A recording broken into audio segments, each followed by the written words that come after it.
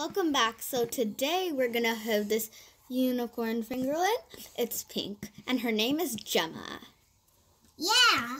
So she has 40 sounds, and she reacts to touch, um, motion, and sounds. And she's a baby unicorn. So let's open her. Wow.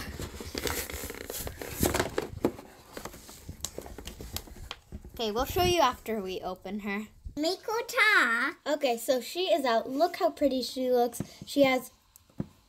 Oh, and by the way, don't mind about the background. It's really raining. So it's raining hard. So she has purple and pink hair and a curly tail. He he has he doesn't have purple and pink hair. He has a rainbow kind of rainbow if you see from there. So she has a yellow horn and her body is pink and she looks really cute. So let's turn her on. Okay. Oh. Oh. And if we like, it's so cute.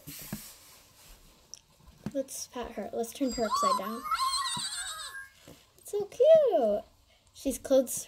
She closes her eyes, so like we can't like really hang her since she has a real tail. Um. So yeah, here she is.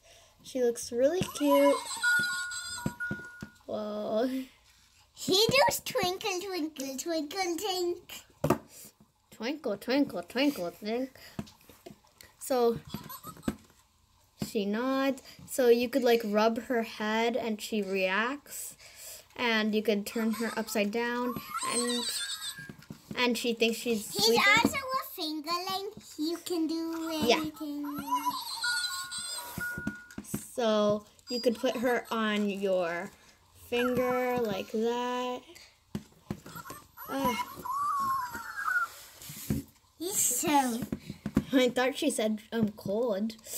So if we do this, her eyes are off and she sleeps. Oh, what are you doing? Put your hands off her. he's special. Yeah.